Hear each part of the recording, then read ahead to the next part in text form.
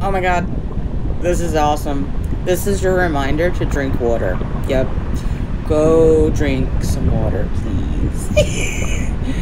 and I was like, I want to make a message to remind people to drink water because I have an alarm set on my phone that several times a day I have it go off to be like, oh yeah, I gotta go drink some water. And it went off, and I was like, you know what, screw it. I'm gonna remind others because it's really beneficial. I know you know that, but sometimes we get stuck in the hustle and bustle.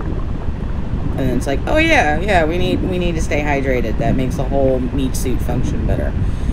But I love that I found this filter. Anybody else like loving that this is a mermaid? Can can we talk about that for a second? Just just maybe for an extra moment or two.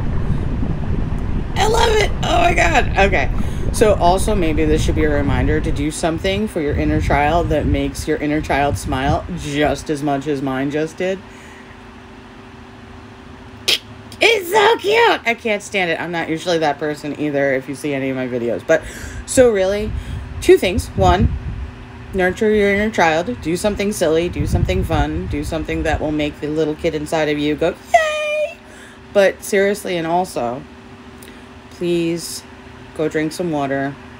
pH balanced water is best, like anything like over 9.0 would be best.